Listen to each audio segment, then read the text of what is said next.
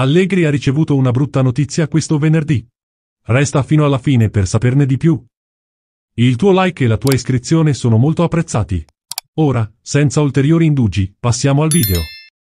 La nazionale italiana è in un periodo di partite molto importanti per conquistare un posto all'Euro 2024.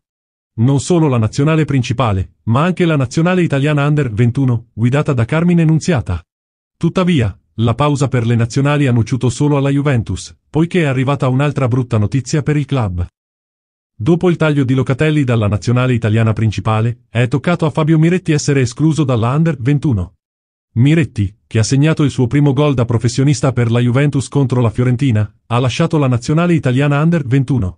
Il giovane di 20 anni presenta sintomi di dolori lombari, e ora Miretti sarà curato dallo staff medico della Juve, che spera di poter far tornare il giovane in tempo per la partita contro l'Inter. La partita contro l'Inter si avvicina, e la Juventus continua a perdere pezzi importanti a centrocampo. Allegri dovrà trovare una soluzione, poiché al momento conta solo su tre centrocampisti, Rabiot, MC Kenny e Nicolussi Caviglia.